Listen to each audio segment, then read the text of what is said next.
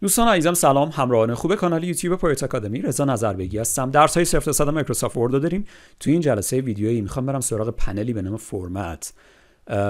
برای shape ها تصاویر و موارد این چنینی می‌تونیم بریم سراغ این پنل ازش استفاده کنیم. ابزارهای مختلفی داره که روی هر کدوم از اینا که بهتون گفتم یک سری از قابلیتاش کاربرد دارن. می‌تونیم مثلا gradient به وجود بیاریم. رنگ و کم و زیاد کنیم. موارد مختلف که البته در خلال ویدیو به طور کلی درباره همشون باهاتون صحبت می‌کنم چی رو بهتون میگم. ازتون درخواست می‌کنم تا انتهای ویدیو همراه من باشید. بریم ویدیو رو با هم ببینیم.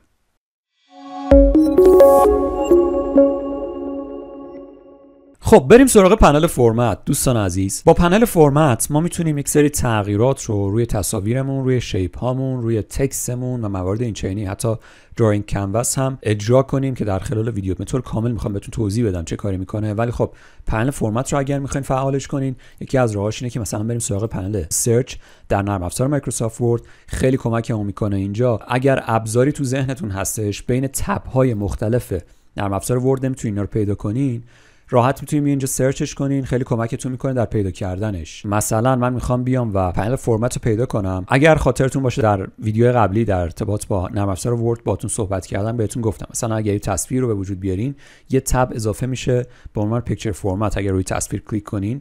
و یه سری option ها رو اینجا داشتیم. در ویدیو قبلی دربارش صحبت کردم. مثلا استایل های مختلف می‌تونیم به کار بگیریم. می‌تونیم یه stroke به وجود بیاریم. در اطراف تصویرمون یعنی قاب به وجود بیاریم. می‌تونیم حالتهای نور و رنگ مختلف برای عکسمون به وجود بیاریم که اینجا مثلا در بخش color correction وجود داشتن. اینا preset های آماده ای هستش که اینجا وجود داره. همه این امکانات رو می‌تونیم در بخش فرمت در پنل فرمت به صورت دستی کنترلشون کنیم خودمون اعداد و ارقام رو تغییر بدیم و یه مقدار کنترلمون رو بیشتر روی تصاویر و shape ها و موارد مختلف اعمال کنیم. حالا بریم سراغ فرمت بهتون میگم چه کاربردی داره. مثلا اگر تصویرمون رو انتخاب کنیم و روی این آیکونی که در بخش picture style هستش این آیکون کوچیک که اینجا هستش کلیک کنم پنل فرمت به نمایش در میاد. یه راه دیگه هم هستش اینجا مثلا در search search کنم فرمت. مثلا فرمت shapes رو بزنم. می‌بینید format shapes رو اگر بزنم اینجا format shape رو برای من پیدا می‌کنه. روش کلیک می‌کنم format shape رو میاره format picture رو search می‌کردم همین کارو می‌کرد. یا format text رو مثلا search کنیم. ولی خب option ها تقریبا در بخش فرمت یکیه. روی هر کدوم از این موارد کلیک کنم. اسمش هم تغییر می‌کنه. فرمت سر جاش میمونه. مثلا میشه format shape این میشه format text و برای canvas هم همینطور. ما می‌تونیم روش کلیک کنیم می‌بینید format shape رو برامون به نمایش می‌ذاره. اما امکانات متفاوته. مثلا در بخش تصویرمون artistic effect اضافه میشه با آیکون picture که اینجا هستش و امکاناتی رو داره که دربارشون صحبت می‌کنم. برای shape این دوتا مورد وجود نداره. در بخش text امکاناتمون یه مقدار محدودتره. البته امکاناتی که مربوط به خود text هستش رو به ما نشون میده. canvas و shape هم تقریبا میشه گفت امکاناتشون یکیه فرقی نداره. ولی خب بریم سراغ مثلا shape با shape شروع کنیم. خب اگر اینو بزنم روی حالت solid color solid fill یه رنگ ساده برای ما اینجا به وجود میاره که در بخش color می‌تونم تغییرش بدم. مثلا اینو تبدیل کنم به این رنگی که می‌بینید. transparency چی کار می‌کنه؟ transparency میاد اون میزان رنگ رو کاهش میده که background رو دوباره ببینیم. بذارید من اینو بیارم بذارم اینجا. یعنی transparency رو افزایش بدم رنگ داره یواش یواش کم میشه ما background کارمون رو هم می‌بینیم. اگر چیزی زیر این تصویر باشه به نمایش در میاد. transparency رو رو 100 بذارم دیگه کلا رنگ نداریم. خب این کاری که transparency برامون انجام میده. line چی کار می‌کنه؟ line برای ما یه خط به وجود میاره که اون رو هم حالت solid و موارد مختلف داره. بذاریم بریم سراغ fill فعلا. fill رو تموم کنیم.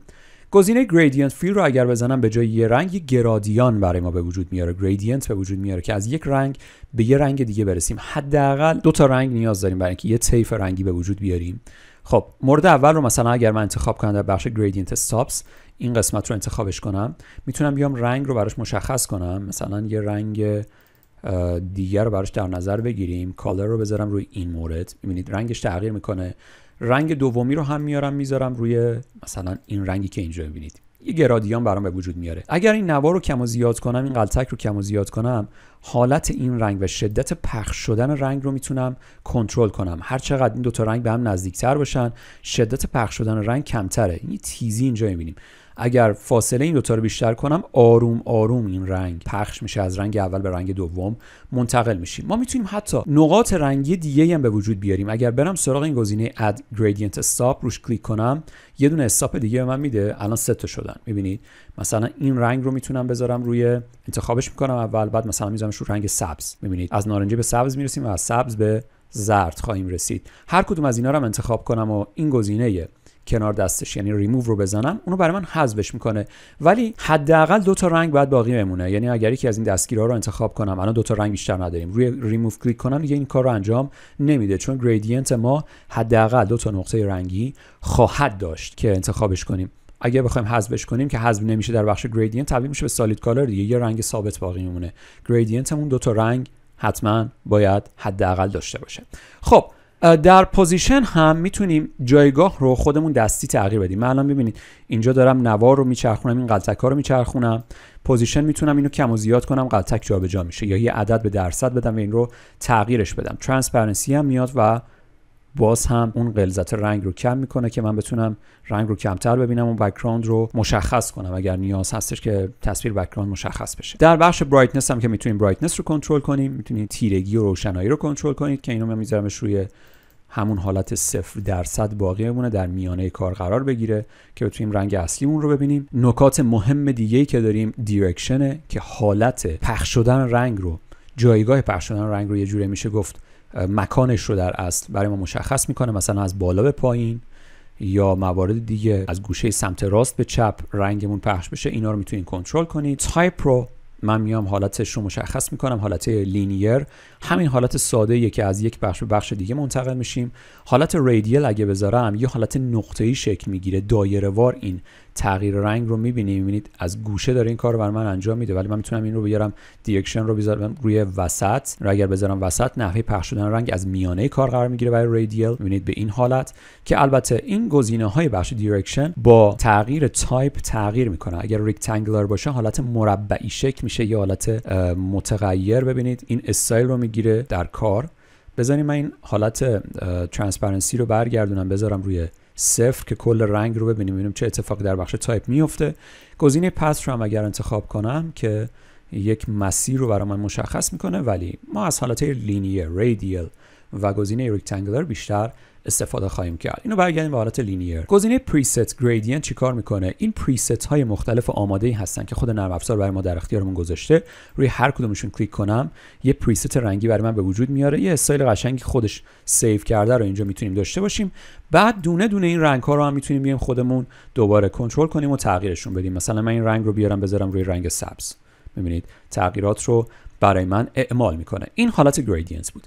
حالت picture or texture fill چه کاری رو انجام میده؟ ببینید picture or texture fill میاد و یا texture برای من به وجود میاره یا picture. حالا texture ش چه حالتیه؟ همین texture ی که الان داریم می‌بینید استایل مختلف رو هم داره. من در بخش texture می‌تونم انتخابشون کنم. حالت پیشفرضی که خود نرم افزار می‌تونه در اختیارتون گذاشته باشه و شما اینجا می‌تونید transparency رو هم بازم کنترل کنید. گزینه‌های مختلف اینجا برخی ثابت هم مثلا transparency همه جا ثابته دیگه. بیشتر از این توضیح نمیدم در بخش‌های دیگه. گزینه offset رو اگر من کم و زیاد کنم می‌بینید مثلا دارم تصویر رو به سمت راست و چپ می‌برم offset Y هم بالا و پایین رو کنترل می‌کنه یعنی texture ی که داریم رو می‌تونیم بچرخونیم در داخل تصویرمون جابجاش کنیم. scale X رو اگر بزنم می‌تونیم اینو کم و زیاد کنیم این 100 درصد مثلا من کمش کنم بیارمش پایین تر میدیم سایزش رو داریم در راستای محور X و Y کوچیک و بزرگ می‌کنیم. alignment رو هم اگر تغییر بدم این حالت top left ه اگر top right ش کنم میچرخونه اینو برای من. گزینه center رو بذارم. تصویر رو به این شکل قرار میده. alignment دیگه جایگاه این texture رو در تصویر برای من قرار میده. حالت mirror type رو هم که اگر انتخاب کنم به صورت horizontal ی و vertical ی اینو برای من آینه‌وار میچرخونه. در این قسمت یعنی آینه‌وار ادامه کار رو برای من چرخون در هر دو سمت هم کار برای من انجام میده. بر اساس texture ی که به کار می‌بریم ممکنه بهتر مشخص بشه چه اتفاقی داره میفته مثلا اینو حالت mirror رو بذارم روی horizontal horizontal و حالت vertical. ببینید چه تغییراتی اینجا به وجود میاد. کاملا دست خودتونه می‌تونید این تغییرات رو اعمال کنید چون این texture ی که داریم یه حالت محدود داره و داره مدام تکرار میشه. که شما در تصویر ببینید بنابراین می‌تونید تغییرش بدین. روی اون حباب ها مثلا ممکنه خیلی بهتر ببینیدش اینجا حباب برعکس شدن. البته mirror رو داریم درش می‌بینیم. اگر بزنمش روی حالت none کار رو به صورت معمول خواهیم دید. اگر برم سراغ گزینه picture source می‌تونم یک تصویر رو انتخاب کنم به عنوان source این تصویر داخل shape م. اجازه بدین روی insert کلیک کنم. به محض کلیک کردن روی insert چند تا گزینه به من میده که بازم می‌تونیم مثلا بریم سراغ تصاویر آنلاینمون بریم آیکون بیاریم جایگزین کنیم یا اینکه بریم از فایل های کامپیوترمون یک تصویر رو بیاریم. من روی مورد کلیک می‌کنم from a file. حالا در بین فایل های کامپیوترم مثلا میام این تصویر رو برمیدارم یا همین پروژه آکادمی که اینجا دارم رو انتخاب می‌کنم اینم یه تصویره. اینسرت رو می‌زنم. و این جایگزین میشه. این تصویر اینجا جایگزین میشه. دوباره بریم سراغ اینسرت گزینه فرام فایل و بریم مثلا این تصویر رو انتخاب کنیم. می‌بینید تصویر ما رو جایگزین اون تکسچری می‌کنه که اینجا قرار گرفته بود. که البته دوباره اگه برم سراغ texture و یکی از این موارد انتخاب کنم تصویر رو حذف می‌کنه و texture به جاش می‌ذاره. گزینه pattern هم میاد برای من pattern به وجود میاره. ببینید حالت نقطه نقطه داره یه مقدار خوب مشخص نیستش. شما اگر خودتون انتخاب کنین و تست کنید بهتر متوجه میشین چه اتفاقی میفته ولی خب مثلا این خطوط درشتر رو دارین می‌بینین. و گزینه foreground رو اگر انتخاب کنم رنگ این خطوطی که الان زردن رو من می‌تونم تغییر بدم مثلا آبی کنم background اون رنگ سفید بین اینا رو تغییر میده. مثلا اینو سبزش کنم. ببینید یه همچین حالتی رو می‌تونیم به وجود بیاریم. این گزینه های بخش fill بود. حالا میریم سراغ بخش line line برای ما یه خطی که اطراف کار هستش رو کنترل می‌کنه. بذارین من اینو بیارم بذارم اینور. بیایم و گزینه‌های transparency رو که می‌دونین چیه بذارین line color رو اول انتخاب کنم مثلا این رنگ رو براش در نظر بگیرم. این خط حاشیه کار رو برای من داره تغییر میده. من یه مقدار زوم می‌کنم که شما بهتر ببینید چه اتفاقی داره میفته و مثلا اگر این رنگ رو بذارم روی یه رنگ دیگه مثلا رنگ زرد رو براش انتخاب کنم این رنگ زرد حاشیه اطراف کار رو می‌بینید. با ویتس با زخامت کار می‌تونیم این رو تغییر بدیم. در بخش ویتس یعنی می‌تونیم زخامت کارمون رو تغییر بدیم. افزایش بدیم به شکلی که ممکنه. گزینه اسکچ سایل می‌تونم حالت خطی و موارد مختلف رو برش در نظر بگیرم. بهتون گفتم در ویدیو قبلی یه سری حالت پیشفرض خود نرم افزار ما می‌داد. اینجا می‌تونیم با کنترل بیشتری روشون کار کنیم. گزینه compound type مثلا می‌تونه این رو دو خطیش کنه. dash type هم می‌تونه خط صاف رو تبدیل کنه به نقطه چین و خط چین و موارد مختلف. می‌تونیم قاب به وجود بیاریم یه جورایی. گزینه cap type رو حالت flat گذاشتم اگر اینو بذارم روی square اون حالت گوشه های کار رو برای من تغییر می‌داد. الان اینو می‌ذارم روی flat اینجا برای من مشخصش نمی‌کنه. ولی خب مثلا برای round مشخص شد. ببینید square با round فرق می‌کنه. یه حالت گرد طوری. شکل می‌گیره. گزینه join type میاد و اون قسمتی که خطوط به هم وصل میشن رو برای من تغییر میده. مثلا اگر بزنم روی bevel یه حالت پخش شدگی رو اطراف کار می‌بینیم. الان روی این خط چینه مشخص نیست. اگر من اینو بیارم بذارمش روی خط صاف بهتر مشخص میشه. یه مقدارم از حالت فانتزی خارجش کنیم. ببینید حالت bevel رو داریم و حالت miter رو داریم که گوشه های کار رو البته برای من نشون میده.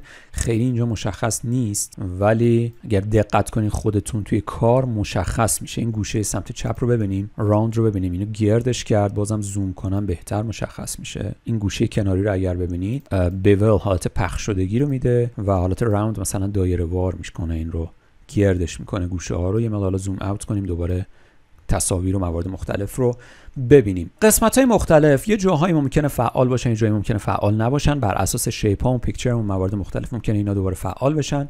و حالا میریم سراغ گزینه effect در بخش effect هم یه سری امکانات رو خواهیم داشت. این موارد تا همینجا بمونه. من بخش format shape و گزینه shadow و موارد مختلف رو و دیگر نکاتی که میمونه رو در ویدیو بعدی دربارشون صحبت خواهم کرد. نمی‌خوام time ویدیو خیلی طولانی بشه. می‌خوام شما ویدیو رو که می‌بینید هم حوصلتون رو سر نبره همین که بتونید تمرین کنید. چون نکات خیلی زیاده تو ذهنتون باقی بمونه. اینا همه دونه بدونش نیاز به تمرین داره. در انتهای ویدیو مثل همیشه دوستان ازتون درخواست می‌کنم لطفا ویدیو رو like کنید. توی کانال یوتیوب پروژه آکادمی subscribe کنید. اون زنگ رو notification رو هم فعال کنید که ویدیوی جدید ما رو از دست ندین. باز هم همراه شما خواهم بود. متشکرم. موفق باشید.